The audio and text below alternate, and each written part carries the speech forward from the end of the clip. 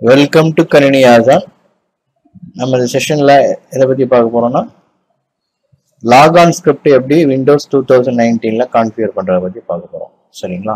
Windows two thousand nineteen administration பற்றி பார்த்துட்டு இருக்கோம். ஸோ அதில் லாகான் ஸ்கிரிப்ட்னா என்னன்னு சொல்லிட்டு பார்க்க போகிறோம் சரிங்களா? லாகான் ஸ்கிரிப்ட்னாலே உங்களுக்கு ஆட்டோமேஷன் ஸ்கிரிப்ட்னாலே நம்ம எதுக்கு யூஸ் பண்ணுவோம்னா ஒரு ஆட்டோமேஷனுக்கு தான் ஸ்கிரிப்ட் யூஸ் பண்ணுவோம்.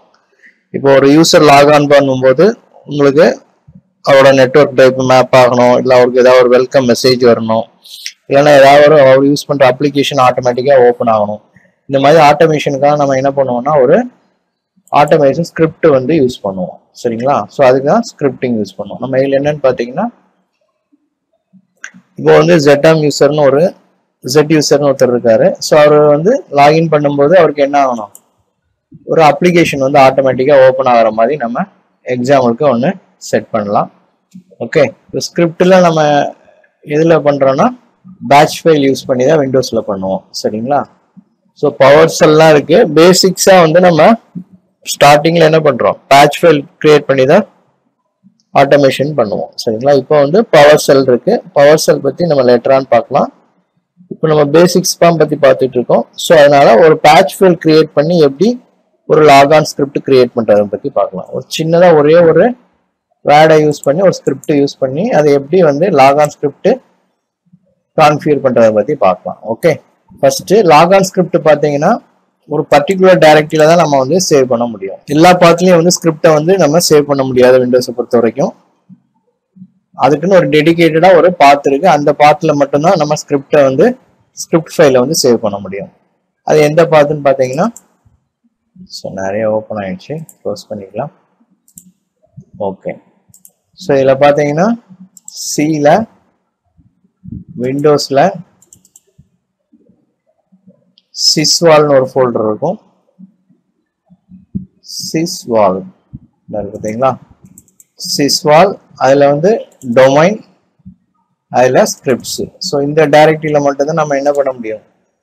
ஃபைல்ஸை வந்து ஸ்கிரிப்ட் ஃபைலை வந்து சேவ் பண்ணணும். வேறு எந்த பாத்துலையும் நீங்கள் சேவ் பண்ணீங்கன்னா ஸ்கிரிப்ட் ஃபைல் வந்து உங்களுக்கு ஒர்க் ஆகாது. ஓகே ஸோ ஃபஸ்ட் நம்ம ஒரு ஸ்கிரிப்ட் ஒன்று கிரியேட் பண்ணலாம்.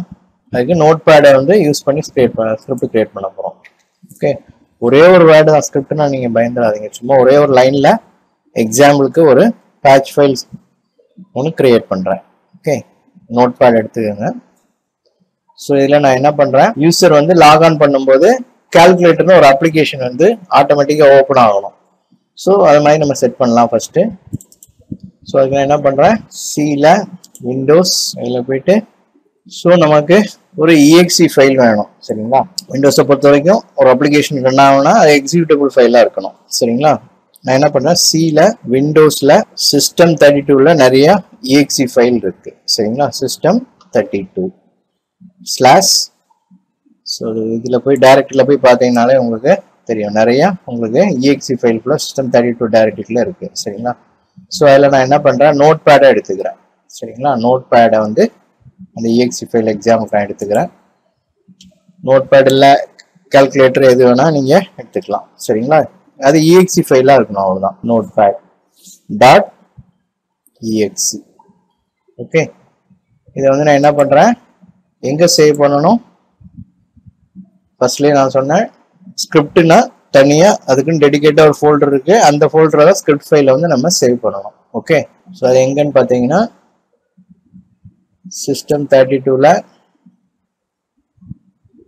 சாரி விண்டோஸ் அதில் sysvol okay sysvol enter பண்ணுங்க. அதில் டொமைன் ஸ்கிரிப்ட்ஸ் ஸோ இதுதான் வந்து நம்ம இது பண்ண போகிறோம் ஸோ நம்ம என்ன வேணால் நேம் கொடுக்கலாம். நான் வந்து என்டிபி டாட் நான் என்ன பண்ணணும்? கண்டிப்பாக பிஐடி ஃபார்மெட்டில் தான் நீங்கள் என்ன பண்ணணும்? சேவ் பண்ணணும். சரிங்களா?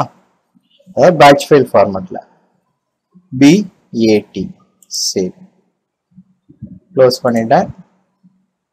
ஸோ இங்கே போய் பார்த்தீங்கன்னா உங்களுக்கு அந்த ஃபைல் வந்து உங்களுக்கு சேவ் ஆகிடும் எங்கே பண்ணியிருக்கோம் சியில் விண்டோஸில் சிஸ் வால் அந்த டைரக்டரியில் டொமைன் ஸ்கிரிப்ட்ஸ் ஸோ இதில் என்டிபின்னு ஒரு ஃபேட்ச் ஃபைல் வந்து பேட்ச் ஃபைல் வந்து நம்ம கிரியேட் பண்ணிட்டோம். ஓகே ஸோ இதை வந்து இப்போ யூசருக்குன்னு அசைன் பண்ணணும். ஓகே ஸோ யூசருக்கு அசைன் பண்ண என்ன பண்ணணும்? ஆக்டிவ் டைரக்டரி ஓப்பன் பண்ணுறேன் ஆக்டிவ் டைரக்டரி ஓப்பன் பண்ணுறதுக்கு என்ன கமாண்டு டிஎஸ்ஏ டாட் எம்எஸ்சி ஓகேங்களா? நீங்கள் சர்வர் மேனேஜரில் போயும் போகலாம் கமாண்ட் லைன் வழியாக போனோம்னா டிஎஸ்ஏ டாட் எம்எஸ்சின்னு வச்சிங்கன்னா ஆக்டிவ் டைரக்டரி யூசர் கம்ப்யூட்டர்ஸோட விண்டோ வந்து ஆட்டோமேட்டிக்காக உங்களுக்கு வந்து ஓப்பன் ஆயிரும். சரிங்களா? ஓகே இப்போ வந்து ஆக்டிவ் டைரக்டரி விண்டோ வந்து உங்களுக்கு ஓப்பன் ஆயிடுச்சு. டாப்பில் பார்த்தாலே உங்களுக்கு தெரியும். Active active directory users and computers சரிங்களா? என்ன domain Ajaz DST dot com அதான் டொமைன் நேம் சரிங்களா? அதில் நான் யூசர்ஸ் வந்து ஜெட்மெயில் யூசர்ஸ்ல இருக்கிற இசட் யூசர் ஒன்றுங்கிறத நான் எடுத்துக்கிறேன். ஸோ அதில் போயிட்டு ப்ராப்பர்ட்டிஸ் அதில் போயிட்டு அக்கௌண்ட் ஸோ இதில் பார்த்தீங்கன்னா உங்களுக்கு ப்ரொஃபைலில் போங்க. அதில் லாக்ஆன் ஸ்கிரிப்ட்னு ஒன்று இருக்குது பார்த்தீங்களா? அக்கௌண்ட் டேபுக்கு அடுத்து பார்த்தீங்கன்னா ப்ரொஃபைல்னு ஒன்று இருக்கும்.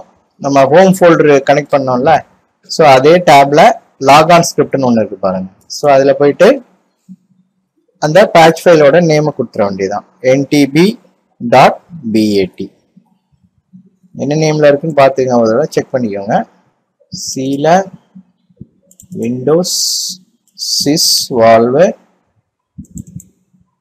domain scripts so NTP dot batch so இதை தான் நம்ம எங்கே கொடுத்துருக்கோம்? இதோட ப்ராப்பர்ட்டிஸில் போயிட்டு கொடுத்துருக்கோம். எங்கள் ப்ரொஃபைல் டேப்பில் லாகான் ஸ்கிரிப்ட்னு கையில் கொடுத்துருக்கோம். சரிங்களா? கொடுத்துட்டு அப்ளை ஓகே ஸோ இப்போ லாகான் ஸ்கிரிப்ட் கான்ஃபிகர் பண்ணியாச்சு. ஸோ இந்த யூசர் லாகான் பண்ணும்போது உங்களுக்கு நோட் பேட் வந்து ஆட்டோமேட்டிக்காக ஓப்பன் ஆகும். ஓகே ஸோ ஒரு கிளைன் மிஷின் எடுத்துக்கிறேன். ஸோ இது செட் யூசருக்கு தான் நம்ம இந்த யூசருக்கு தான் கான்ஃபிகர் பண்ணோம். ஸோ லாகின் பண்ணுங்கள்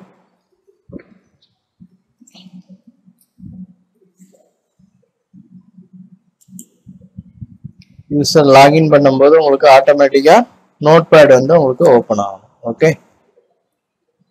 ஸோ ஓப்பன் ஆகிடுச்சா லாகின் பண்ணோன்னே உங்களுக்கு ஆட்டோமேட்டிக்காக உங்களுக்கு நோட் பேட் அப்ளிகேஷன் ஓப்பன் ஆகும்னு சொல்லிட்டு நம்ம ஸ்கிரிப்ட் பண்ணியிருந்தோம். ஸோ லாகின் பண்ணோடனே ஆட்டோமேட்டிக்காக உங்களுக்கு இது ஓப்பன் ஆகிடுச்சு சரிங்களா? அதே மாதிரி நீங்கள் வந்து இப்போ நெட்ஒர்க் டிரைவ் இருக்குது அந்த நெட்ஒர்க் டிரைவ் மேப் ஆகணும்னு சொல்லிட்டு நீங்கள் ஒரு பேட்ச் ஃபைல் எழுதி ஸோ அதெல்லாம் நம்ம கனெக்ட் பண்ணலாம். அப்புறம் வந்து ஒரு வெல்கம் மெஜ் மெசேஜ் வந்து வர்ற மாதிரி இது பண்ணலாம். ஸோ அது மாதிரி எந்த ஒரு இது வேணாலும் நம்ம எதில் பண்ணோம்னா ஸ்கிரிப்டில் வந்து லாகான் ஸ்கிரிப்டில் வந்து நம்ம வந்து டிஃபைன் பண்ண முடியும். சரிங்களா? அது எங்கே போடுறோம்? ஸ்கிரிப்ட் டைரக்ட்ல தான் வந்து சேவ் பண்ணணும். ஓகே ஓகே இந்த செஷனில் எப்படி நம்ம லாகான் ஸ்கிரிப்ட் ஒரு யூசருக்கு கிரியேட் பண்ணுறதை பற்றி பார்த்துருக்கோம் ஓகே நெக்ஸ்ட் வீடியோவில் இன்னொரு டாபிக் பற்றி பார்க்கலாம். Okay thank you